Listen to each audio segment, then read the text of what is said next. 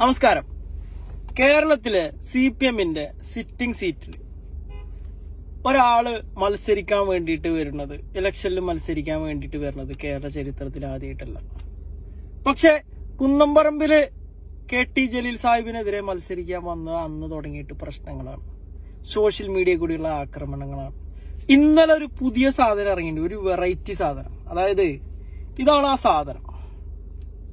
ഈ സാധനം വെച്ചിട്ട് കുന്നംപറമ്പിൽ കള്ള് കുടിക്കാൻ പൈസ ഇല്ലാതെ അതായത് നമ്മുടെ കാസർഗോഡുള്ള ഹൈദർച്ചയാണ് ഇതിന് തുടക്കട്ടത് അപ്പൊ അതിന്റെ ചുവട് പിടിച്ചിട്ട് ഒരുപാട് ആൾക്കാർ ടിക്ടോക്കിൽ കിടന്നിട്ട് ചിലക്കുണ്ട്. അപ്പൊ ഓലി ഓലോടൊക്കെ തന്നെയാണ് എനിക്കിത് പറയാനുള്ളത്. അപ്പൊ ഈ സാധനം പൊക്കി പിടിച്ചിട്ട് ഇന്നലെ തുടങ്ങിയിട്ട് പറയാണ് ഹൈദർച്ച പറയാണ്. അതായത് ഫിറോസ് കുന്നംപറമ്പിലിന് കള്ള് കുടിക്കാൻ പൈസ ഇല്ലാണ്ടായപ്പോ ഒരു വീട്ടിൽ അതിക്രമിച്ച് കയറി എന്നിട്ട് അവിടെ പതിനാല് വയസ്സുള്ള പെൺകുട്ടിയുടെ കഴുത്തിലുള്ള മാല പൊട്ടിക്കാൻ ശ്രമിച്ചു. അവിടെ ഉണ്ടായ വയസ്സായ ഒരു സ്ത്രീയെ തള്ളി അലമാരയിലേക്ക് തള്ളിയിടാൻ ശ്രമിച്ചു എന്നൊക്കെ പറഞ്ഞിട്ട് ഇന്നലെ തുടങ്ങിയിട്ട് പ്രചാരണമാണ്. ഇത് വെച്ച ഇതാട്ടോ തെളിവ്. ഇതാണ് തെളിവ് എന്ന് പറയാൻ കാരണം ഇതിലുള്ള ഐ പി സി സെക്ഷനൊക്കെയാണ് ഹൈദർ പറയുന്നത്. അതായത് I P C five double one three eight five ഒക്കെ. അപ്പോ ഇതിന്റെ സത്യാവസ്ഥ അറിയാന് നിങ്ങൾ വേറെ എവിടെയും പോകണ്ട ഈ സാധനം ഇവർ തെളിവായിട്ട് പുറത്തു വിട്ട ഈ സാധനം തന്നെ നോക്കിയാൽ മതി. കാരണം എന്താ വെച്ച് കഴിഞ്ഞാൽ കുന്നംപറമ്പിന്റെ വീട് എവിടെയാണ്? ആലത്തൂര്. ആലത്തൂരുള്ള കുന്നംപറമ്പിൽ കള്ള് കുടിക്കാൻ പൈസ ഇല്ലാണ്ടാവുമ്പോ എന്താ ചെയ്തതെന്നറിയോ? വണ്ടിയിൽ ആദ്യം പെട്രോൾ അടിച്ചു അഞ്ഞൂറ് റുപ്യക്ക് എന്നിട്ട് അവിടെ നിന്ന് വണ്ടി എടുത്തിട്ട് എറണാകുളം ജില്ലയിലെ ചേരാനെല്ലൂർക്ക് പോയി. ഞാൻ പറയാൻ കാരണമുണ്ട് ഇതിൽ നിങ്ങൾ നോക്കിയാൽ മതി. ഈ കേസ് രജിസ്റ്റർ ചെയ്തിരിക്കുന്നത് എറണാകുളം സിറ്റി പോലീസിന്റെ പരിധിയിൽ വരുന്ന ചേരാനല്ലൂരാണ് രജിസ്റ്റർ ചെയ്തിരിക്കുന്നത്. അപ്പൊ കള്ളു കുടിക്കാൻ പൈസ ഇല്ലാത്ത ആൾ എന്തിനാണ് എറണാകുളത്തേക്ക് പോണത്? എറണാകുളത്ത് വെച്ച് സംഭവം നടന്നാലുള്ള അവിടെ കേസ് കൊടുക്കുക. രണ്ടാമത്തെ കാര്യം ഇതിൽ താഴെ വളരെ ക്ലിയർ ആയിട്ട് എഴുതിയിട്ടുണ്ട്. ഭീഷണിപ്പെടുത്തി പിടിച്ചു പറിക്കാൻ ശ്രമിക്കുക. വീട്ടിലേക്ക് അതിക്രമിച്ച് കയറുക. ഇത് രണ്ടു രണ്ട് സെക്ഷനാണ് ഇവർ പ്രചരിപ്പിക്കണ എങ്ങനെയാണ്? അതായത് വീട്ടിലേക്ക് അതിക്രമിച്ച് കയറി പിടിച്ചു പറിക്കാൻ ശ്രമിച്ചു. വ്യത്യാസം മനസ്സിലായോ നിങ്ങൾക്ക്? ആൾക്കാരെ തെറ്റിദ്ധരിപ്പിക്കണതിന്റെ വിധാണ് ഞാൻ ഈ പറഞ്ഞു തരണേ കഴിഞ്ഞില്ല. ഇനി മൂന്നാമത്തെ കാര്യം അതിൽ തന്നെ താഴെ എഴുതിയിരിക്കുകയാണ് ചാർജ് ചുമത്തിയിട്ടുണ്ടോ? ഉത്തരം എന്താണ്? ഇല്ല. ഇല്ല. ഞാൻ പറഞ്ഞില്ലേ നിങ്ങൾ വേറെ എവിടെ പോകണ്ട ആ സാധനം തന്നെ എടുത്ത് നോക്കിയാൽ മതി. ഇതിന് അതിന് ഇനി നാലാമത്തെ കാര്യം എന്താണ്? കുറച്ചും കൂടിയാണ് മേലയിലേക്ക് സ്ക്രോൾ സ്ക്രോൾ ചെയ്യുക. കേസ് എടുത്തിക്കണ എന്താണ്? രണ്ടായിരത്തി ഇരുപത് അതാ എഴുതി വെച്ചിരിക്കണ അതായത് രണ്ടായിരത്തി ഇരുപതിൽ എടുത്ത ഒരു കേസിൽ ഇരുപത്തിരണ്ട് ദിവസം കുന്നംപറമ്പിൽ ജയിലിൽ കിടന്നത് കേരളത്തിലുള്ള ഒരു മാധ്യമങ്ങളും അറിഞ്ഞിട്ടില്ല. ഞങ്ങൾ വെട്ടുകിളികൾ അറിഞ്ഞിട്ടില്ല. എന്തിനേറെ പറയുന്നു? കുന്നംപറമ്പിൽ പോലും അറിഞ്ഞിട്ടില്ല. ഇതാണ് ഇവരുടെ വാദം. എടാ ചെങ്ങായിമാരെ നിങ്ങൾ ഈ പൊതുസമൂഹത്തിനോട് എന്താണ് വിളിച്ചു പറയാൻ ഉദ്ദേശിക്കുന്നത്? ഏ? ഇങ്ങനെയാണോ ഒരു മലപ്പുറത്തിന്റെ സുൽത്താൻ എന്നൊക്കെ പറയുന്ന ആളുടെ ഇലക്ഷൻ പരിപാടി പ്രചരണം? ഇതാണോ ഇലക്ഷൻ പ്രചരണം? ഏ? നിങ്ങൾക്കൊക്കെ നിങ്ങൾക്കൊക്കെ കുറച്ച് മണ്ണ് വാരി തിന്നൂടെ ചെങ്ങായിമാരെ. നിങ്ങൾ ഈ ജനങ്ങളെ പൊട്ടനാക്കാൻ പൊട്ടന്മാരാക്കാൻ വേണ്ടിയിട്ട് ഈ ടിക്ടോക്കിലും ഈ ഫേസ്ബുക്കിലും കിടന്നിട്ട് എന്തൊക്കെയാണ് പുലമ്പിടത് അതും ഈ തെളിവ് വെച്ചിട്ട്. പിന്നുള്ള ഒരു കേസ് സ്ത്രീയുടെ മാനത്തെ ഇൻസൾട്ട് ചെയ്തു എന്ന് ആരോപണം. അതിന്റെ താഴെ എന്താണ്? ചാർജ് ചുമത്തിയിട്ടുണ്ടോ? ഇല്ല. ഇതിനാണ് കുന്നംപറമ്പിൽ ഏറ്റവും വലിയ അപരാധി എന്ന് നിങ്ങൾ പറയുന്നത്. ഏ? കുന്നംപറമ്പിൽ രണ്ടായിരത്തി പതിനേഴിൽ ആണ് ചാരിറ്റി തുടങ്ങുന്നത്. അതിനു മുന്നേ അവന്റെ ജീവിതത്തിൽ ഒരുപാട് ചിലപ്പോൾ തെറ്റുകൾ സംഭവിച്ചിട്ടുണ്ടാവും. അത് കുന്നംപറമ്പിൽ തന്നെ ലൈവിൽ പറഞ്ഞിട്ടൊരു കാര്യമാണ്. കുന്നംപറമ്പിലെ ബാക്കി എല്ലാ ലൈവ് നിങ്ങളെ കൈമലുണ്ടല്ലോ ആ ലൈവ് എന്താണ് ഇല്ലാത്തത്? കുന്നംപറമ്പിൽ പറഞ്ഞിട്ടില്ലേ? ഞാൻ ഒരുപാട് തെറ്റുകൾ ചെയ്തിട്ടുണ്ട്. ഞാൻ വികലാംഗ കമ്മീഷന്റെ മറ്റേ ആ ലീഗിന്റെ നേതാവിന്റെ ഡ്രൈവറായി പോയതിനു ശേഷം ഇവരുടെ കഷ്ടത കണ്ടതിന് ശേഷമാണ് ഞാൻ ചാരിറ്റിയിലേക്ക് ഇറങ്ങിയത്. പറഞ്ഞിട്ടില്ലേ? അതിന് മുന്നേ ഫിറോസ് കുന്നംപറമ്പിലെ ജീവിതം എന്താണെന്ന് പൊതുസമൂഹത്തിന് അറിയേണ്ട കാര്യമില്ല. ഫിറോസ് കുന്നംപറമ്പിൽ കള്ളു കുടിച്ചാലും പലിശ കൊടുത്താലും അത് ഓനും പടച്ചോനും തമ്മിലുള്ള കാര്യമാണ്. അതിന് അതിന് ഈ പൊതുസമൂഹം എന്താണ് വേണ്ടത്? നമ്മുടെ ഇത് മുന്നിലുള്ള വിഷയം എന്താ? ഭീഷണിപ്പെടുത്തി പിടിച്ചു പറിക്കാൻ ശ്രമിക്കുക എന്ന് കേസ്. ഏതാണ് കേസ്? കേരള പൊതുസമൂഹത്തിന് അറിയാത്ത കേസാണോ വർഷയുടെ കേസ്? ഈ വർഷയുടെ കേസല്ലേ ഇത്? ചേരാനല്ലൂര് അമൃത ഹോസ്പിറ്റൽ എവിടെ ഇരിക്കണത് എറണാകുളം ജില്ലയിൽ?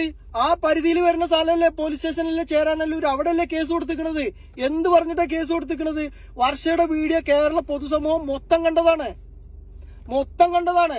വർഷയുടെ അമ്മയുടെ അസുഖമായി ബന്ധപ്പെട്ട് കുന്നംപറമ്പിൽ അല്ല അവിടെ വീഡിയോ ചെയ്തിട്ടുള്ള സാജൻ കിച്ചേരി വീഡിയോ ചെയ്തിട്ടുള്ള സാജൻ കിച്ചേരി ഇട്ട വീഡിയോ ഫിറോസ് കുന്നംപറമ്പിൽ അവൻ ഫിറോസ് കുന്നംപറമ്പിലെ പേജിൽ ഷെയർ ചെയ്തിക്കുക അത് കഴിഞ്ഞതിന് ശേഷം അവർ സാജൻ കിച്ചേരിയും ഈ ഇവരും തമ്മിൽ അഭിപ്രായ വ്യത്യാസം ഉണ്ടായി കഴിഞ്ഞപ്പോ ഫിറോസ് കുന്നംപറമ്പിൽ വർഷേനെ ഫോണിൽ വിളിച്ച് സംസാരിച്ചു ആ വീഡിയോ ഷെയർ ചെയ്തു എന്നല്ലാതെ വേറെ എന്ത് ബന്ധമാണ് കുന്നംപറമ്പിൽ ഈ കേസായിട്ടുള്ളത് നിങ്ങളൊന്ന് പറഞ്ഞേരി. ഈ കേസിൽ അതായത് ആവശ്യത്തിൽ അതായത് വർഷയുടെ അമ്മയുടെ അസുഖത്തിന്റെ ചികിത്സക്ക് വേണ്ടി ആവശ്യത്തിൽ കൂടുതൽ തുക വന്നു കഴിഞ്ഞാൽ അത് അവരുടെ ആവശ്യം കഴിഞ്ഞിട്ടുള്ള പൈസ ബാക്കിയുള്ള രോഗികൾക്ക് വീതിച്ചു കൊടുക്കണം എന്ന് പറഞ്ഞിട്ട് വീഡിയോ ചെയ്യുന്നു. വർഷ പൈസ വന്നതിന് ശേഷം അതിൽ ചില അഭിപ്രായ വ്യത്യാസങ്ങൾ ഉണ്ടാവുന്നു. അതിനെ തുടർന്ന് അവർ കേസ് കൊടുക്കുന്നു. ആ വകുപ്പാണ് ആ ഒരു തർക്കമാണ് ഏത്? ഭീഷണിപ്പെടുത്തി പിടിച്ചു പറിക്കാൻ ശ്രമിക്കുക എന്നുള്ള വകുപ്പ്. മനസ്സിലായോ? അതേപോലെ വീട്ടിലേക്ക് അതിക്രമിച്ചു കയറി എന്ന് പരാതി. ആരതിക്രമിച്ചു കയറി എന്ന് നിങ്ങൾ പറയുന്നത്? ഈ ഹൈദർ നിന്നോട് ഞാൻ കാര്യം ചോദിക്കട്ടെ? ഈ കേസിൽ കുന്നംപറമ്പിലെ എത്രാമത്തെ പ്രതിയാന്ന് നിനക്കറിയോ? നിനക്കറിഞ്ഞോട് നീ എന്നോട് ചോദിക്കും. ഞാൻ പറഞ്ഞുതരാം. നാലാമത്തെ പ്രതിയാ. ഈ കേസിന്റെ കാര്യം പറഞ്ഞോട്ട് കുന്നംപറമ്പിലെ പോലീസ് സ്റ്റേഷനിൽ മൊഴിയെടുക്കാൻ പോലും വിളിപ്പിച്ചിട്ടില്ല. നിനക്കറിയാണ്ടായി പോണ്ട. മൊഴിയെടുക്കാൻ പോലും വിളിച്ചിട്ടില്ല. കാരണമുണ്ട് ഈ വീട്ടിൽ അതിക്രമിച്ച് കയറി എന്ന് പറയണ്ടല്ലോ. അതിന്റെ സംഭവം വർഷ പറയണത് നിങ്ങൾ കേട്ടോ. അതായത് പി എം എ സലാം കാട കയ്യിൽ നിന്ന് പതിനായിരം രൂപ ഹോസ്പിറ്റലിൽ വന്ന സമയത്ത് വർഷ കടമായിട്ട് വാങ്ങണ ചെലവിന്. ഇവർ തമ്മിൽ വീഡിയോ ഇട്ടതിന് ശേഷം അഭിപ്രായ വ്യത്യാസം ഉണ്ടാവുമ്പോൾ ആ പൈസ തിരിച്ചു മേടിക്കാൻ വേണ്ടിയിട്ട് വർഷ താമസിച്ച വാടക വീട്ടിലേക്ക് സലാംക്ക് ചെല്ലുവാണ്. ഈ പൈസ കടം കൊടുത്ത പൈസ മേടിക്കാൻ. അവിടെ വെച്ചിട്ട് സലാം ഖാൻ ആ വീടിന്റെ ഓണറെ ഇറക്കി വിടുകയാണ്. അതിനുശേഷം വർഷ സലാം ഖാനെ വിളിച്ചുള്ള വോയിസ് നിങ്ങൾ കേട്ടു ഹലോ? ആ. ഇക്ക വർഷയാണ് ആ പറഞ്ഞോ. ആ എന്താ പറയാൻ വന്ന പറയാൻ വന്ന കാര്യം പോലീസ് പോലീസെല്ലാം വിളിച്ചു പറഞ്ഞു? ഇവിടെ ആര് കയറ്റാൻ പാടില്ലെന്നൊക്കെ. ആരോട് ചോദിച്ചേ ഞാൻ ഞാൻ ഞാൻ വന്നത് ആ പൈസ മേടിക്കാൻ വന്നാണ്. ശരിയല്ലേ? എനിക്കറിയാം എനിക്കറിയാം. ഞാൻ വിളിക്കും. ആ പക്ഷെ ഇതൊന്നും കഴിഞ്ഞതൊന്നും മറക്കരുത് കേട്ടോ അത്ര മാത്രം ഇക്ക, വേറെ ഒന്നുമില്ല ഞാൻ നിങ്ങൾ ഞാൻ വന്നത് എന്റെ കയ്യിലിരുന്ന പൈസ വീട്ടിൽ ഭക്ഷണത്തിന് പൈസ ഇതാന്ന് പറഞ്ഞിട്ട് എന്റെ കയ്യിൽ മേടിച്ചിട്ട് പതിനായിരം രൂപ സാഹചര്യം കൊടുത്ത് പറഞ്ഞു മേടിച്ചിട്ട്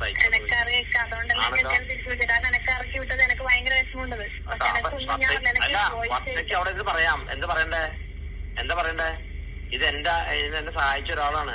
എന്റെ എന്റെ പേര് കാശ് കടം മേടിച്ചിട്ട് ആ കാശ് മേടിക്കാൻ വന്നത് കടം മേടിച്ച കാശല്ലേ എന്ന് ഞാൻ മേടിക്കാൻ വന്നേ അല്ലേ? അല്ല ഞാൻ ഞാനിപ്പോ അവരോട് പറഞ്ഞില്ല അവരിപ്പോ പോയത്. ഞാൻ അവരോട് പറഞ്ഞു ക്യാഷ് മേടിക്കാൻ വന്നാണ് ഞാൻ പറഞ്ഞത് ആ അതാ അപ്പഴല്ല പറയണ്ടേ? ഞാനവിടെ ഇരിക്കുമ്പോ പറയണം. അതല്ലേ ശരി?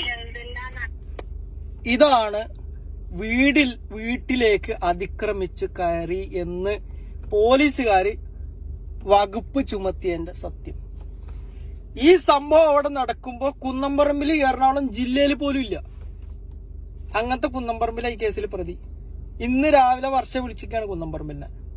ഇക്ക കേസിൽ ഞാൻ നിങ്ങളെ പേര് കൊടുക്കരുതെന്ന് പറഞ്ഞിട്ടുണ്ട് നിങ്ങളുള്ളത് കൊണ്ടാണ് അല്ലെ നിങ്ങളെ ഒക്കെ കൂടി പേജിലൊക്കെ ഷെയർ ചെയ്തുകൊണ്ടാണ് എന്റെ അമ്മ ഇന്ന് ജീവിച്ചിരിക്കുന്നതെന്ന് പറഞ്ഞിട്ട്.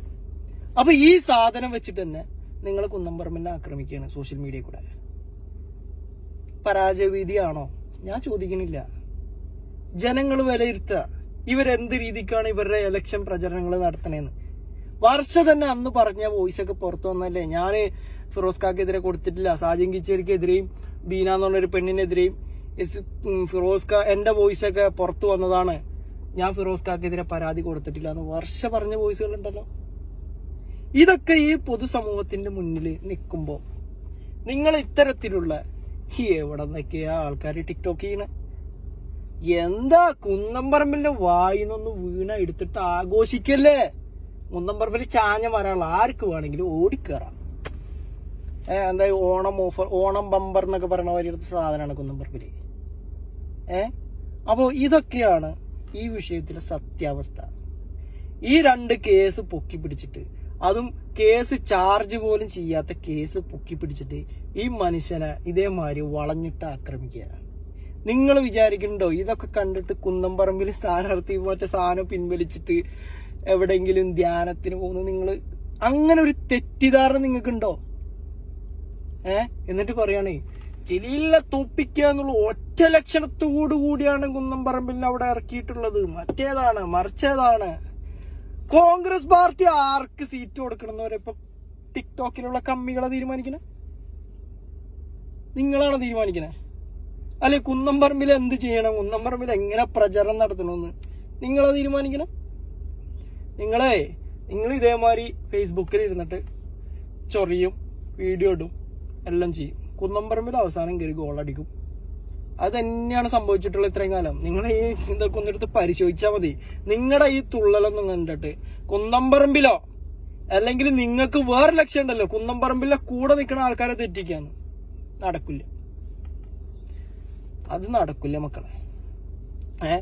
അപ്പോ പാലക്കാടുള്ള പാലക്കാടുള്ള കുന്നംപറമ്പിൽ കള്ളുപിടിക്കാൻ പൈസ ഇല്ലാതെ ചേരാനല്ലൂർ എറണാകുളത്ത് ചേരാനല്ലൂർ പോയി വീട്ടിൽ കയറി ആക്രമിച്ചു. ഏഹ് പതിനാറ് വയസ്സുള്ള പതിനാല് വയസ്സുള്ള കുട്ടിയുടെ കഴുത്തിലുള്ള മാല പൊട്ടിച്ചു എന്തൊക്കെ പറയുമ്പോ നിങ്ങളുടെ കൂട്ടത്തിലുള്ള ആൾക്കാർ വിശ്വസിക്കാരം? വിശ്വസിക്കാരം പക്ഷെ ബാക്കിയുള്ളവരെ നിങ്ങൾ ആ കൂട്ടത്തിൽ കൂട്ടണ്ട. അത്രേ വിഷയത്തിൽ പറയാനുള്ളൂ. അപ്പൊ ശരി.